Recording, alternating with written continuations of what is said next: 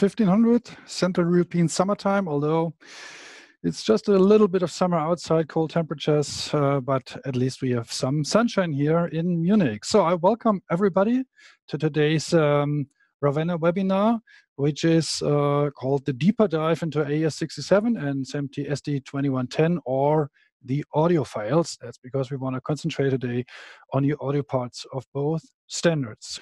All right, so uh, let's move on. Uh, a little bit about myself. Uh, my name is Andreas Hildebrand. I'm working for ALC NetworX out of Munich. And ALC NetworX is the company who um, yeah, invented, developed, uh, and market the uh, Ravenna technology, which has been introduced 10 years ago. So this uh, year is our 10th uh, anniversary. Let's have a, a, quick look first into AES67. And for those on the call last week, um, there will be a few slides of repetition as an introduction to AES67, but we will then directly go straight into the details, um, uh, which is then also important for the 2110 audio uh, fundamentals. So AES67 is a high performance streaming audio over IP interoperability standard, initially published in 2013, uh, and it has uh, received two revisions, the latest in 2018. However, nothing has significantly changed, so everything is still standing fundamentally as with the initial um, um, version in 2013. All right, the scope of AES67 uh, was focused on professional audio, low latency audio over typical production networks, which includes campus um, networks, uh, broadcast uh, networks. And the design goal was to use existing protocols and mechanics wherever possible. AES67 deliberately excludes anything which is not IP networking, so any networking on the lower layer is not part of AES67. Any uh, data compression or low bandwidth media, which we don't consider um, low latency um, uh, uh, at this time, and anything uh, in terms of network which is low performance or the public internet cannot serve for AES67 transmission. And since it's an AES, Audio Engineering Society standard, video is also not part of the standard, but you will see later on that uh, basically every protocol and fundamental principles which have been defined for AES67 also serve for SMPTE ST2110. So let me emphasize again, the scope is on interoperability guidelines using existing protocols wherever possible, because the goal with AES67 was that all the already existing technology providers uh, should be should have been encouraged encouraged to actually adopt AES67 either as a special mode or as a their native mode of operation. So here's a, a quick illustration uh, what the problem is. We have all these uh, existing technologies before AES67 uh, was uh, defined. They are all based on IP, but uh, even though they are based on IP, they just can't talk to each other directly. You always had to go through analog or digital connections. So uh, not quite true for Livewire and Ravenna. Uh, we set up a scheme for interoperability already back in 2012, so a year before AES67 was finally published. But then AES67 came out, and by following the AES67 definitions and guidelines, uh, immediate interoperability based on IP is becoming possible or was becoming possible. So here's uh, another illustration for a typical interoperability situation or problem uh, which AES67 can easily solve. Let's assume we have um, a venue um, and another venue close by. They are both running different network technologies. And then there's a OB-van pulling up uh, BBC OB-van. Well, I guess they have uh, much modern OB-vans. Let's take a much modern OB-van here. Let's assume that one's running Ravenna. So the problem now is if you want to connect directly to the venues, it just doesn't work because there is just no indirect interoperability between these three networking schemes. And that's where AES67 can help. Uh, in, the, in the very moment AES67 is supported by these networking technologies, you can immediately interchange signals based on IP. Of course, signals need to be forwarded to a host broadcasting station. You may uh, want to use Ravenna for that, or the well-known ACIP scheme, uh, which is um, defined, which has been defined by the EBU. And uh, AES67 was carefully designed to also support uh, ACIP receivers, uh, at least. So AES67 is a very versatile um, protocol and standard which enables interoperability. So in order to do so, um, the standard needs to define uh, uh, identify technology components and define some protocols, some values, some variables, some mechanisms for it. So these are the typical ingredients of any audio over IP solutions. And for each of these uh, functional blocks, AES67 came up with a mandatory requirement or protocol to be supported in order to be AES67 compliant. Typical audio over IP um, uh, systems also support something like discovery so that uh, participants on the system know what is exactly on the network, but this has been deliberately excluded by AES67 because it's not uh, technically required to um, establish uh, the technical interoperability. So let's have a, a, a deeper look at the uh, particular ingredients um, for the audio uh, synchronization and transport. First of all, uh, we need synchronization and media clocking. Um, AES67 defined the PTP version 2, Precision Time Protocol version 2, and the media clocking was defined to be uh, 48 kilohertz, but uh, there were other optional uh, media clocks uh, also defined in AES67. So how does that work? Let's have a deeper look. Um, first of all, every node, a node is a device sitting on a network, is running a local clock not just a frequency, a real clock with time. And those local clocks are precisely synchronized to a common reference clock, what we call them wall clock, with the PTP protocol. Now, from those local clocks, every device can individually generate a media clock, basically any desired media clock. So it's not just 48 kilohertz for the whole system or 44.1. Every node can generate whatever media clock it actually needs. So here's a quick illustration on that. We have our wall clock, our master clock, may or may not be referenced to GPS. We have the slave nodes um, uh, on the um, network, uh, and they carry clocks inside, and those clocks are precisely synchronized to the master clock utilizing the PTP protocol. Now, from those clocks, from those local clocks, the devices can generate their media clocks independently. And if those clocks are just precisely enough synchronized to each other, then the generated media clocks are also uh, precise enough or identical to each other, not just with frequency, but also with their phase. So let's have a uh, closer look into the clocks which are actually running in such a system. Actually, um, the whole system comprises of three different clocks. We have the common reference clock, which is called the wall clock, provided by a grandmaster, which does not necessarily have to be a physical external device. Any node, basically, uh, in the absence of a particular grandmaster, can take the role of a grandmaster. Now, then there's a local copy of that wall clock inside each node through the PTP. Then we have the media clock. The media clock is derived from that local clock. Uh, it can be 48 kilohertz for audio, for video nodes, it might be 90 kilohertz or any other media clock which is required for a particular operation.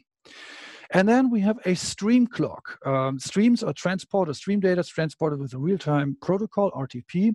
So we have the RTP clock, which in case of AES67 is derived from the media clock. So now this looks a bit abstract. So here's an illustration um, uh, to further clarify the situation. We have a sender, a receiver, a grandmaster clock. We have local clocks inside the devices, which are synchronized through PTP. So the local clocks basically carry the same time as the grandmaster clock. Now, those local clocks have media clock circuitry, which produce media clocks, but they have to follow the local clock, or they are derived from the local clock. And of course, that's the same on the receiver side. So now we set both devices to generate the same media clock, let's say 48 kilohertz, they are exactly the same as long as they follow the. Now the third component comes into game, and that is a stream.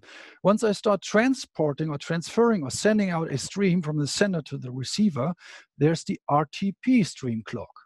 Now this RTP stream clock follows or is derived from the media clock, but it may have a random offset.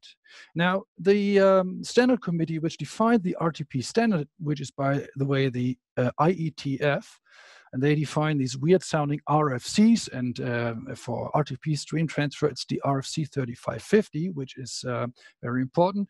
They say, please um, add a random offset to each individual stream. And um, the uh, reason for that is they uh, were looking into encrypted streams already. And because um, the clock information is part of the RTP information, the encrypted part of it, they didn't want to have a well-known value in there. So they said, okay, um, just um, allow to add a random offset for each individual stream. However, that offset, of course, has to remain constant throughout the stream's lifetime.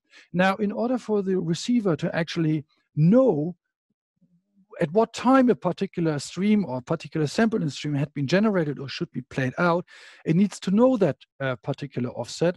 And now, because the value um, is not part of the RTP data itself, it has to be conveyed over from the sender to the receiver, what we call out of band. And for that, we use the SDP information or the SDP protocol. And there's an attribute inside the SDP which tells the receiver what particular offset is being used for this particular stream. So it tells the offset, uh, it sends the offset to the receiver, but out of band. So it's not part of any um, uh, crypto attack uh, targeting at the stream. So this is the principal illustration how uh, these three different kinds of clocks operate in a typical AES-67 environment. So next component is transport. Transport is based on the already mentioned RTP over UDP over IP with unicast and multicast. I have explained that in further detail in my previous uh, webinar. Uh, if you're interested in that, a recording and slides are available. So for now, we just look at the RTP packet because it carries a vital information. Uh, each RTP packet has a header, optional payload headers, and the payload itself. So Here's the RTP header that always has 12 bytes of length. And then there's the RTP payload, which carries the actual media data. Um, the payload, uh, the payload header, uh, yeah, the RTP header, sorry, uh, has a very vital information, and that is the RTP timestamp. That timestamp, in our case, in the case of linear PCM audio, which we are uh, transporting with AES67 is just a media clock counter. So it's not a real time information, it's a clock counter, uh, which just counts the clock cycles uh, which have been passed, or in other words, indicates the clock cycle of the first sample in the payload area. Now, this media clock counter field is 32-bit um, uh, wide, and uh, you can imagine that uh, at a clock rate of 48,000 hertz, 48 kilohertz, 48,000 clock cycles per second, that this uh, field will have a rollover. And actually, the rollover happens roughly once per day at 48 kilohertz. So, in other words, it rolls over and starts at zero again. Um, well, as long as we are talking about real-time streams and not anything archived which can be played out at a at a later time we don't have a problem because no stream whatever uh, need more than one day to um, uh, to to start from the sender and then just uh, reach the receiver. Um, I've just made a calculation uh, somewhere, and it says that uh, a stream needs to be transported three times back and forth to Neptune in order to be uh, on its way for 24 hours actually at the speed of light. So in our situation, this does not pose a problem, but for the calculations, we have to take this rollover into consideration, of course. So that's uh, where the uh, time information of a particular um, payload is being transported. Now, what goes into the payload of an RTP packet? So we have to look at the encoding block. Uh, for encoding, uh, AES67 calls for some mandatory encoding parameters to be supported. First of all, sampling rate. 40 kilohertz, uh, 48 kilohertz sampling rate is the mandatory sampling rate to be supported. But uh, for other applications uh, which require different sampling rates, AES67 also has uh, recommendations for 44.1 and for um, uh, 2FX sample rates. So you can see sample rate is the conversion from the analog signal into a digital signals with digital samples. Then another parameter is the bit width uh, of the uh, PCM encoded audio. So AES67 says that 16 and 24 bits are to be supported, well, and we look at the uh, resolution uh, over time, we have uh, 16 bits on here, and you can see there's uh, on the um, on the vertical axis uh, a higher resolution that's 24-bit, and this uh, diagram also features a higher uh, time resolution compared to the diagram on the left. That could be the situation with, let's say, 48 and 96 kilohertz. So, but you can see the higher the bit width and the higher the resolution, the more granular the um, PCM encoded data uh, will get. So then um, it says uh, that the number of channels which can be transported per stream can be anything between one through eight. So let's have a look at the uh, PCM samples here. We have, uh, in case of a stereo signal, we have a left sample and a right sample in 16 or 24 bits. Uh, and of course, um, these samples are just uh, next to each other, uh, subsequent samples. And if we look at a typical PCM bit stream uh, of a stereo signal, we have an interleaved uh, lineup of left channel, right channel, left channel, right channel, first sample, second sample, third sample. So that's the, well, the those three parameters are, are required for AES67 support. And the fourth parameter for the encoding uh, description is the packet time. Now, what's the packet time? The packet time uh, defines the number of frames per packet at a given sample rate. Why is it called time? Because at a sample rate, a number of samples can be converted into time and uh, vice versa. So let's have a look at this. Let's assume we have an N channel. N could be eight or four or seven or three or whatever, or even one. Let's for now assume it's an A channel multi-channel uh, or multi-track signal and each of those channels apparently has consecutive samples and those are lined up over time and a frame is now what the audio engineer is calling the samples, all the samples uh, uh, which belong to one particular point in time to all those channels or those tracks. So frame one covers all the samples of all channels per sampling period. So we have frame one, frame two, frame three, and the lineup uh, of the sample stream is like we have sample one of the first channel, second channel, eighth channel, then continuing on with sample two of all the channels and sample three of all the channels. Or if we look at the stream of frames, we have frame one, frame two, frame three over time. So frame basically is the uh, are the channels, uh, are the samples of all channels at a particular sampling time. So packet time indicates the number of frames per packet at a given sample rate. Uh, quick calculation here, packet time of one millisecond is what AES67 calls for, and that is exactly 48 frames uh, at 48 kilohertz. So here's the uh, number, here's the packet times which are supported by AES67, and only one of those packet times is really uh, required or mandatory. It's the one millisecond packet time. Uh, but we have recommendations if shorter packet times are required, which one to choose from. Interestingly enough, there's also the four millisecond packet time, um, which can carry a typical uh, stereo um, stream as being defined at 16-bit as being defined by the ACIP standard. You may uh, recall that earlier I mentioned that AES67 can also support ACIP receiver. So you just have to use the 4 millisecond packet time with the stereo L16, so 16-bit PCM encoding, and then you're perfectly uh, compatible with an ACIP receiver. Um, I have prepared um, a, uh, quick Wireshark um, capture here, but uh, I guess for now we jump over it uh, because that might go uh, too deep into the into the matter.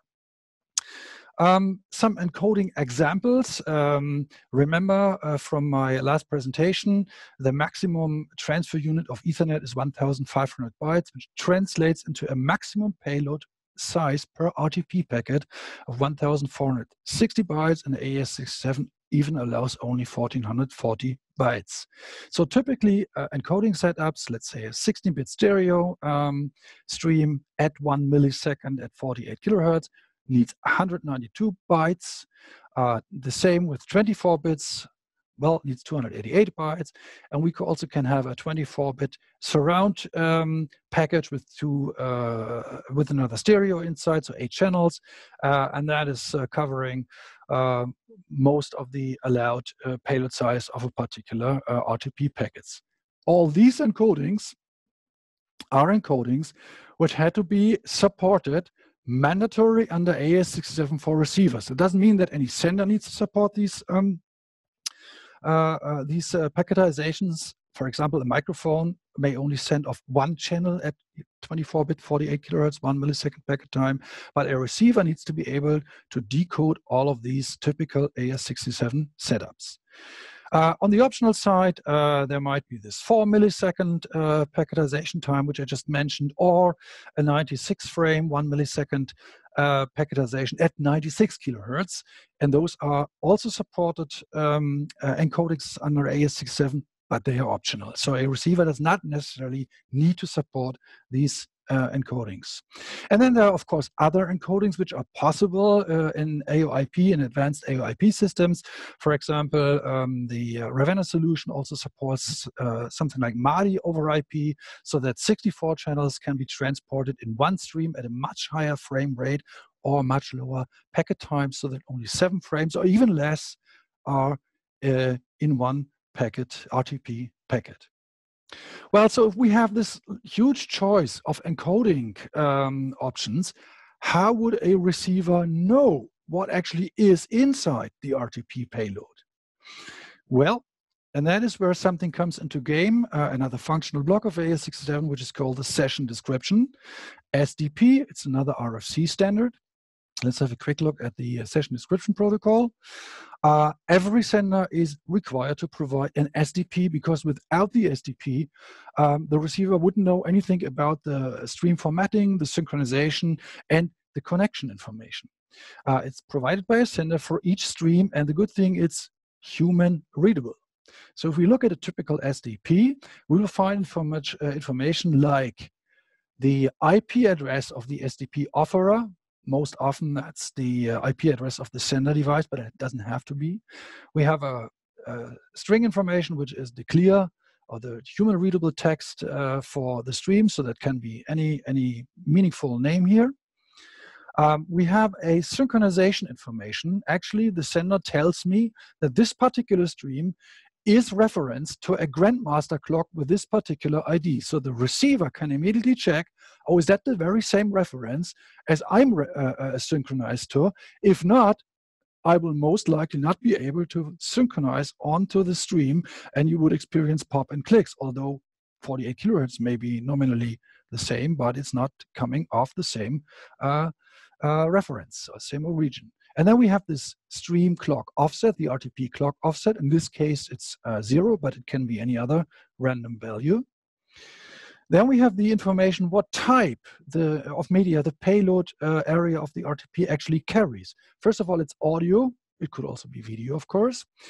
Um, we have a port number over at center, and we have a payload type information. Now, this payload type information needs further description. That's where the RTP map uh, parameter comes in. So if this parameter is uh, identified in the RTP packet, it means that the payload is L24, so PCM linear 24-bit at 48 kilohertz, two channels.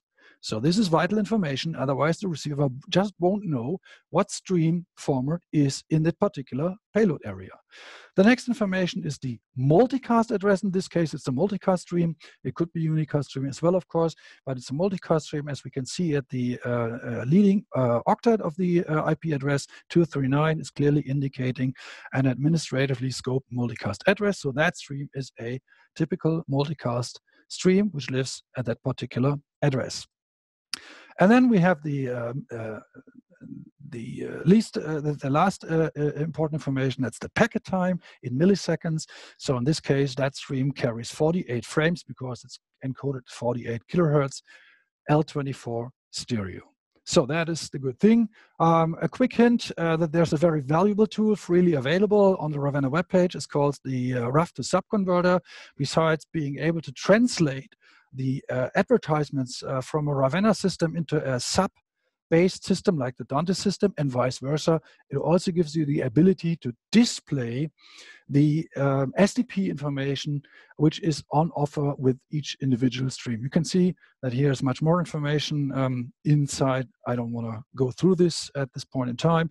The tool is freely available on the Ravenna website and is very, very helpful in uh, not just um, uh, translating between different advertising schemes, but also into debugging um, streams or setting up uh, SDPs if they are missing.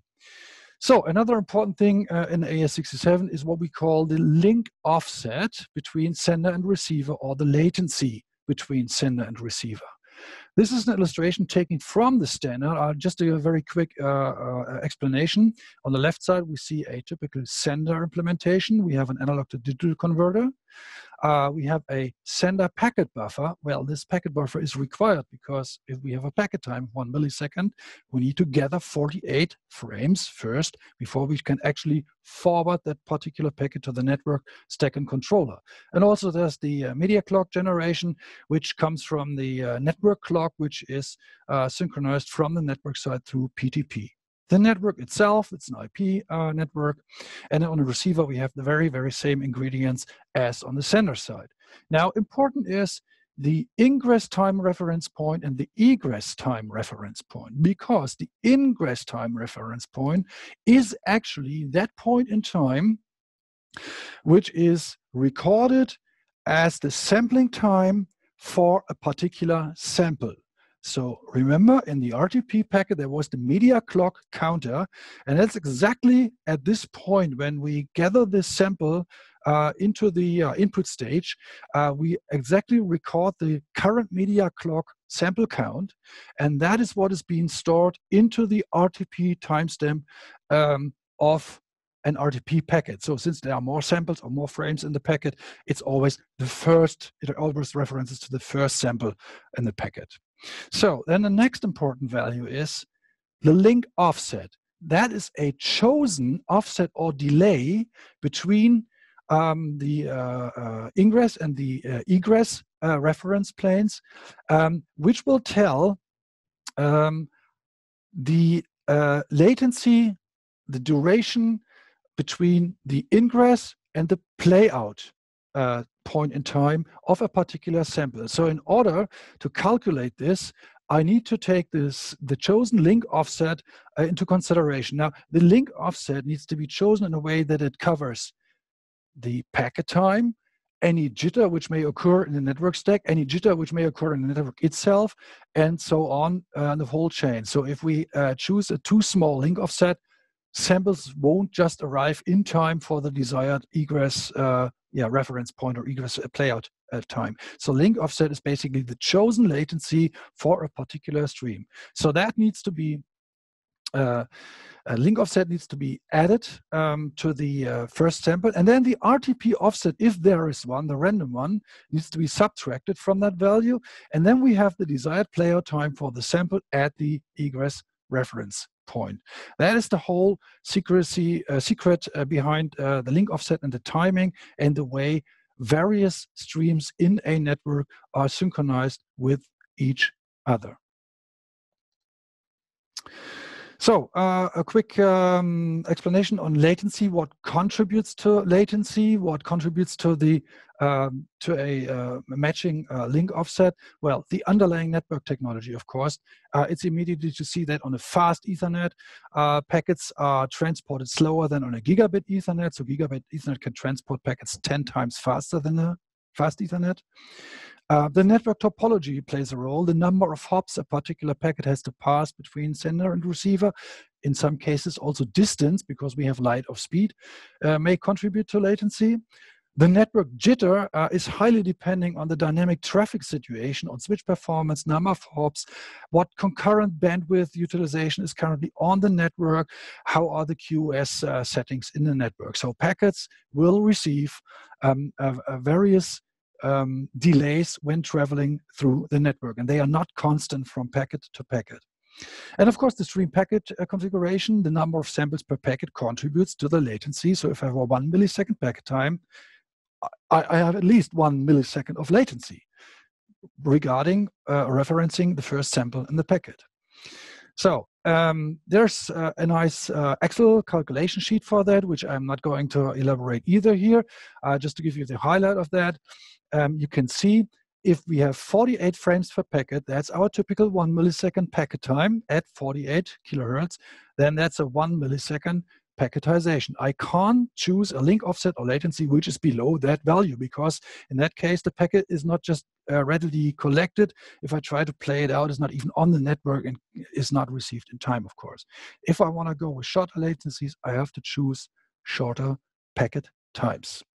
That's the secret behind this uh, calculation and it also gives you an idea how many channels uh, can I uh, store into a particular RTP packet uh, before I'm reaching or breaking the allowed maximum payload size.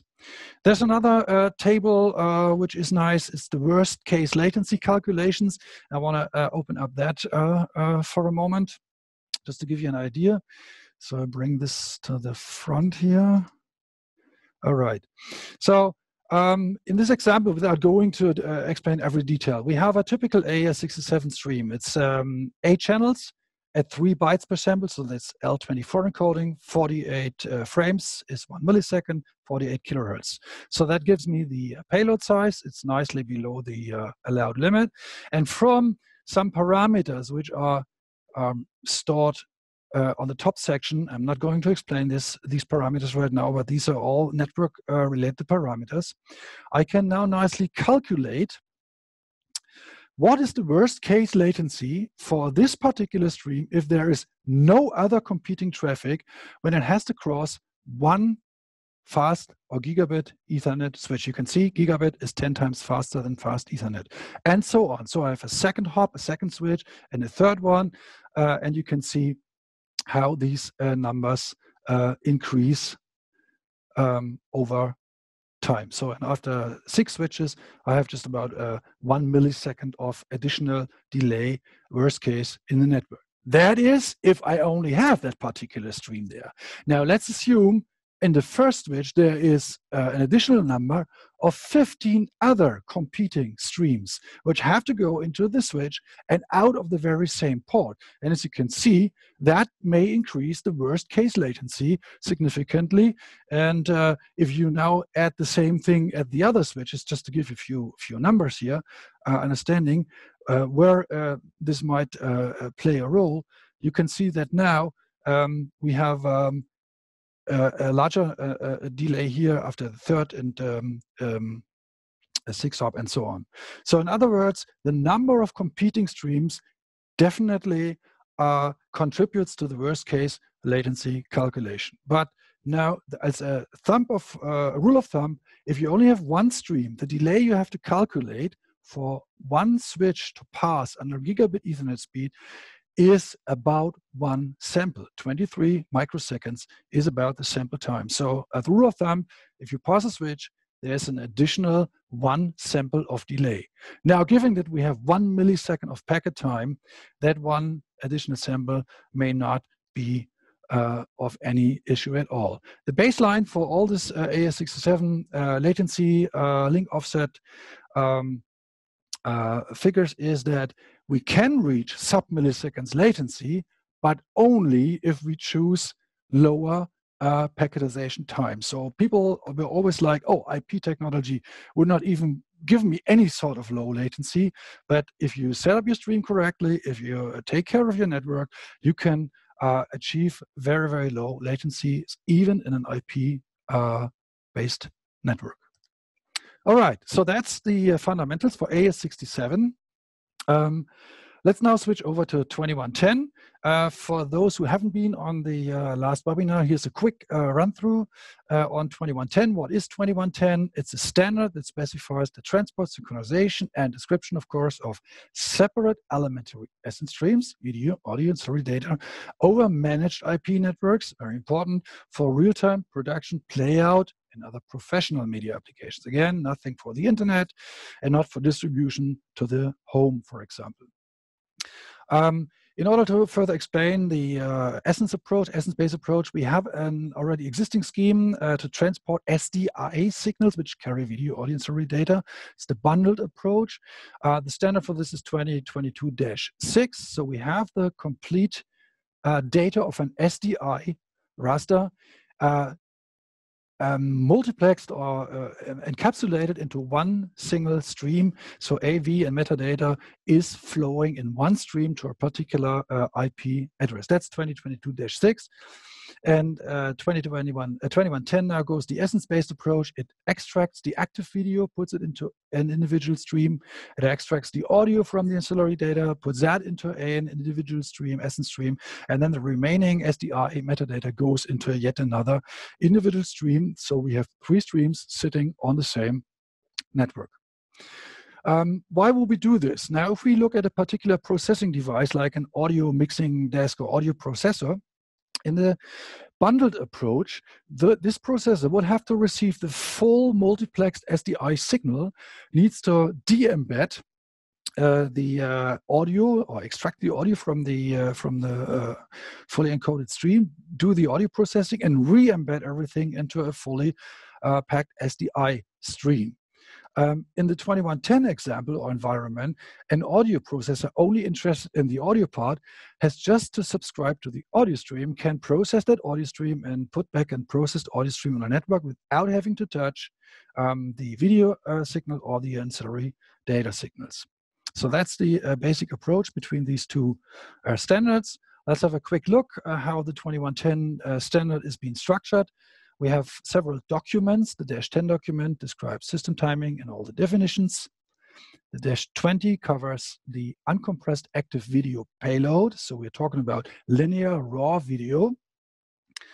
Um, dash 21 as a traffic shaping um, uh, definition, uh, because you can uh, imagine that with uncompressed active video, which has very, very high data rates, we need sort of a definition uh, how the sender is allowed to put traffic on the network in order to avoid overloading of subsequent stages or receivers.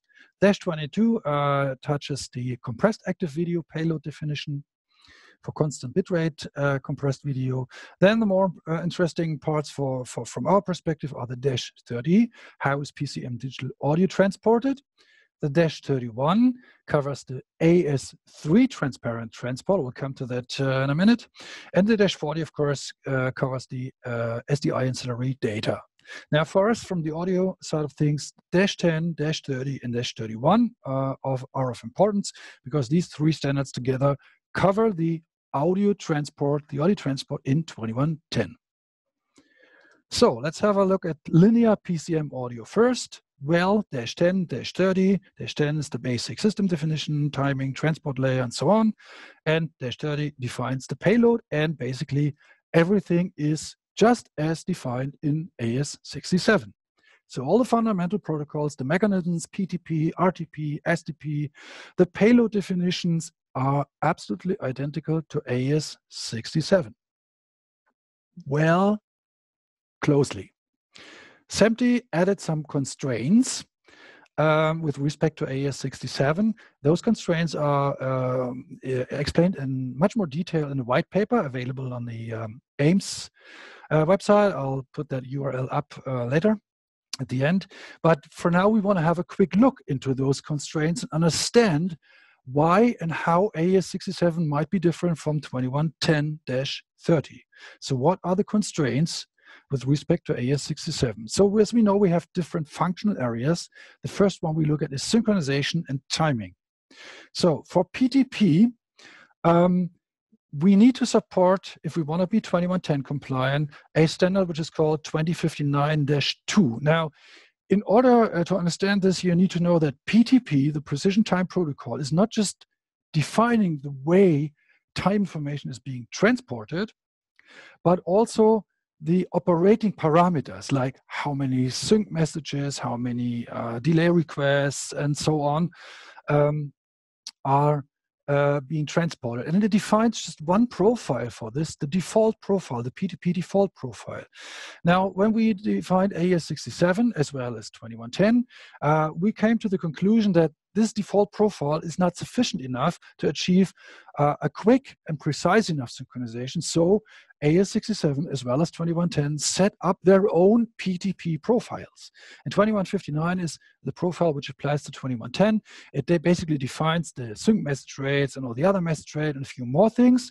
And now compatible with AES67? And the answer is yes, because there is a good overlap between the 2059-2 and the AES67 uh, PTP uh, uh, profile and even the PTP default profile. And all this is being covered in another document, in an AES report document, uh, which is mentioned here, which tells exactly what the overlapping operational parameters among these different profiles are. So in other words, an AES67 device has a partial overlap with the uh, 2059 and operational parameters can be configured in a way uh, that they are fulfilled on both sides of this profile.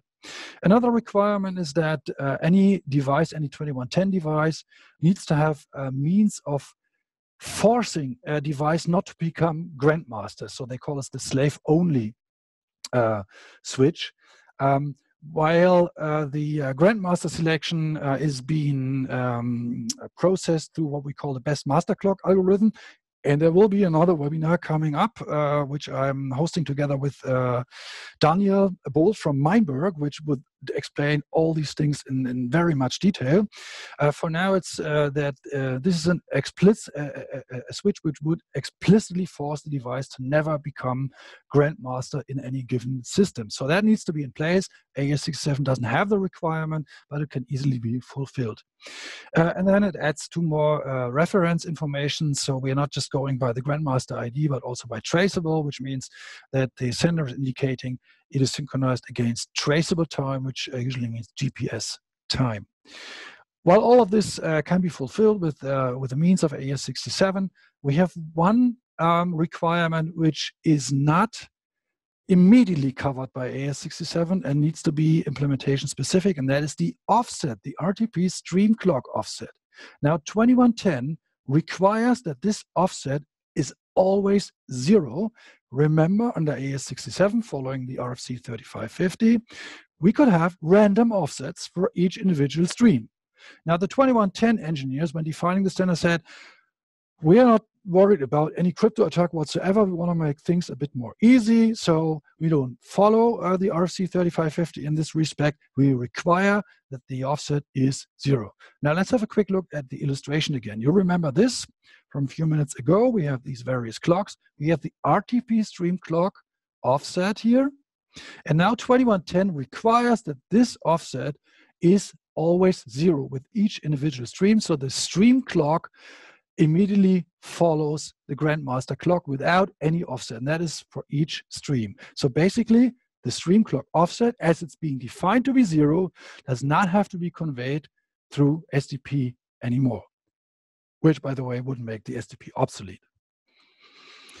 So looking at uh, protocols, um, IGMP version 3 is required for those of you uh, familiar with networking. Uh, multicast transport is uh, based on the so-called uh, Internet Group Management Protocol, where a receiver tells the network what particular multicast stream it wants to receive, or yeah, it wants to receive. And there are several versions out there. 2110 requires version 3 to be used. Uh, AES67 only requires version 2. The good thing is even within version 3 there's an automatic fallback uh, to version 2 so uh, if there's only one version 2 device on the network um, the whole network will fall back uh, to version 2 automatically because it's part of the version 3 definition. So in that respect we don't have any constraint with AES67 um, further protocols um, uh, required or um, recommended by AES67 are RTCP and SIP those protocols are explicitly excluded by 2110. They do not have to be supported by 2110 devices. And then uh, 2110 adds optional redundancy. AES67 is silent on redundancy, but we have uh, optional redundancy uh, based on another SMPTE standard, which is 2022-7. So you can send uh, two or more streams with the same content around on different physical um, network segments. And there's a scheme and mechanism how these packets are then uh, move together again. And so if packets are missing, you can recover them from the other um, redundancy segment. There's uh, then another um, parameter which comes into um, into game, uh, which is the channel assignment map. Um, the channel assignment map is uh, basically the describing if you're sending around a number of channels, let's say uh, eight channels, it could give you a hint, okay, that the first six is a 5.1 setup and then there's a stereo setup. It could also say, okay, we have four mono channels, then a stereo se uh, setup and two channels of unrelated uh, relationship. So this might be useful or not depending on the production um, application. However, this channel map is also just optional. And then uh, AS, uh, SMT2110 came up with the uh, packet times. Um, so they said, wonderful, we have this one millisecond packet time, one to eight channels, 48 kilohertz, one to, yeah, one to eight channels, 48 kilohertz, one millisecond packet time. That is what they call level A, which is fully AES67 compliant. They were worried about this one millisecond packet time being too large of a latency. So what they did uh, they added level B, which says, okay, level B is one to eight channels, but at a packet time of 125 microseconds, which is six frames per channel. And to go even further, to be able to store more channels into the packet, they defined a level C, which can then hold up to 64 channels at the 125 microsecond packet time. Now, only level A is mandatory. That is supported by all AES67 devices. Level B is one of the uh, recommended ingredients of AES67. Level C is a new addition.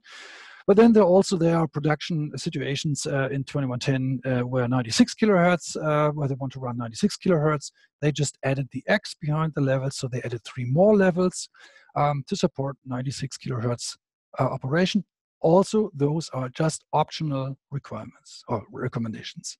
So to sum up, we have uh, AES67 mandatory uh, requirements. We have the 2110-30 level A, and besides the constraints, 2110-30 level A is fully covered by the larger AES67. And through the optional uh, recommendations within AES67, we also have the level B fully covered besides the constraints I mentioned earlier. So uh, looking at the uh, compatibility between 67 and dash 30, to make it a quick one, we have AES67, we have 2110-30. The constraints are lying outside of the definitions of AES67. Um, does that uh, harm stream compatibility? Well, not really. Every dash 30 stream is fully receptible or receivable by um, AES67 receiver. However, an AES67 sender needs to obey the constraints set forth by Dash 30, and the most important constraint is that it can generate streams with the media clock offset or the stream clock offset of zero. I can tell you that now, uh, these days, I'm not aware of any AES67 device which cannot set the random offset upon creation of a stream to zero anymore. So it has been in early testing has been an issue, but it's not the case anymore. A quick look at the uh, remaining Dash 31 standard, which is there to transport um, uh, AES3 data. So for those uh, not aware of what AES3, AES3 basically is, again, linear 24-bit PCM, but it carries four additional uh, information bits, the PCUV bits, which are set forth in the AES3 standard. And with this uh, format, you can basically transport any non-PCM audio, you know, like Dolby E and others, basically everything which is defined in another uh, standard. How do we realize that? Um, well, uh, looked at the Ravenna AM824 payload definition, which was already able to transport AES3 in a bit transparent manner, which basically retains all the AES67 definitions. It just adds one further byte to the payload. So we have the L24 right here, and the additional PCUV bits and a block and frame start bit um, uh, added to the payload area. So we have to signal that this is a different payload. It's not L24 anymore, as you can see here. It's AM824, but then again, 48 kilohertz and the number of channels in a particular stream and all the other SDP parameters remain the same. So uh, fully adopted the Ravenna AES3 payload format for the Dash 31 standard. So how does that compare to AES67? Well, AES67 cannot transport uh, AES3. However, Ravenna can, and it's fully covering the Dash 31 requirements. In terms of stream compatibility, also AES67 is out of the game. Ravenna is in, and any uh, Ravenna device supporting the AM824 profile can send Dash 31 streams, and any Dash 31 stream from a SMPTE device can be received by a Ravenna device. That's the short story. Final look at a typical application in this scenario. Um, this is a demonstration we set up uh, together with our partner Dolby. Um, as you can see here, we have one stream from the audio playout engine, which is a Dash 30 stream or an AES67 stream, which contains eight channels of audio. Actually, there were even more than just one stream because we had uh, 12 channels, or something like that, of audio. We have a rendering device which receives all the data channel, uh, the audio channels, and then the metadata can be authored in real time, for example, or at a playback stage, which says, okay, uh, um, object on channel three needs to move uh, to the back. Um, you know, some real-time uh, metadata which accompanies uh, the the stream. So they are set uh, uh, transported into a Dash 31 stream because that's what it can be used for. And then the renderer can combine the metadata in the stream with the object audio data and can render um, the uh, output according to his individual setup. It might just be a soundbar or a 5.1 or a 7.1 or 22.2 or whatever setup and can combine the audio object data, which is L24, and the audio metadata, which is sent as dash 31 into whatever needs to be rendered on the receiving side. So that's just a, a, a quick example of how to how what dash 30 and dash 31 combination could do. Uh, resources um, slide here. Um, you will find a lot of um, papers on configuration of devices and switches where also the QoS and the uh, IGMP and all this kind of stuff is uh, mentioned. So you should find something on the uh, resources section of the Ravenna webpage. Other resources I mentioned is the AIMS Alliance organization. There's also a resources section and SMPTE has a uh, FAQ section on 2110. These are also very valuable resources. Okay, that's great. Um, Andreas, thank you very much indeed. All right, so I guess we made it, right? Yeah, and uh, thank you for so many questions. Um, yeah, we had uh, over 20 questions, uh, a sure. couple answered in text, so uh, thank you very much. For if there's any more questions, just shoot me an email, ravenna at alcnetworx.de, and I'm trying to answer them uh, at M time thank you very much for those uh, who are still online, uh, about 100 people still online. Thank you very much. Uh, hope to see you uh, at one of the next webinars, which happen every Tuesday from now on. Thank you for attending and uh, enjoy the rest of your day. Thank you.